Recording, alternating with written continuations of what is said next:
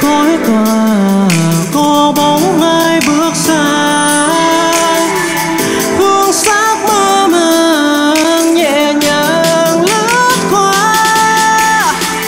Khai thật đi, em có phải là hồ ly? Dùng phép gì mà sao cứ khiến anh phải hồ đồ đi? Em ơi, môi của anh bắt đầu đang khô đi. Nhìn em như bước ra từ bức tranh điêu thuyền. Chỉ cần lần đầu thấy là anh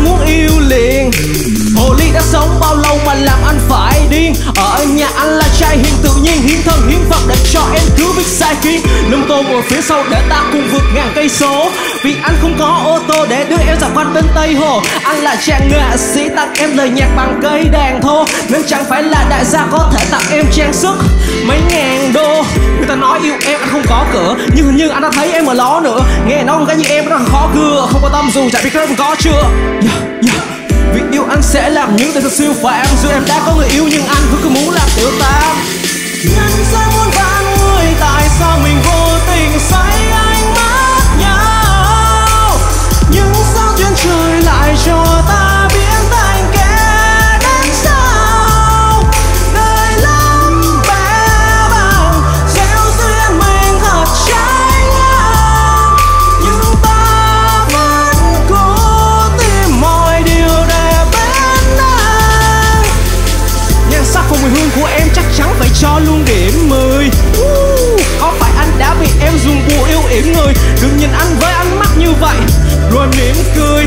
cho anh chìa khóa để anh có thể mở trái tim người.